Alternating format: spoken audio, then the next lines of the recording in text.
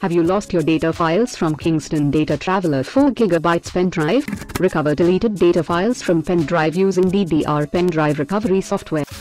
Software recovers all types of data from all types of USB drives. For example if your data files are deleted due to corrupted or mistakenly formatted pen drive, or accidentally deleted data from USB, or inaccessible pen drive, or due to any other errors. Connect your USB drive to computer system.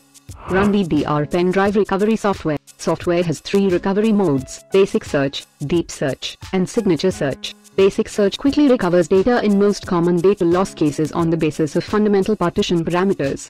Deep search thoroughly scans the storage media to recover data even in complicated data loss cases. Signature search recovers data on the basis of file extensions. Choose any one recovery mode and continue. Select your USB drive from physical drives. Choose file system from FAT or NTFS that was existing in your pen drive before data loss. Go to next.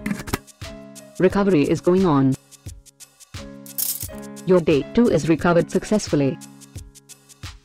You can save your recovered data by Save option. Browse path.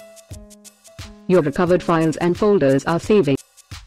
Thanks for visiting.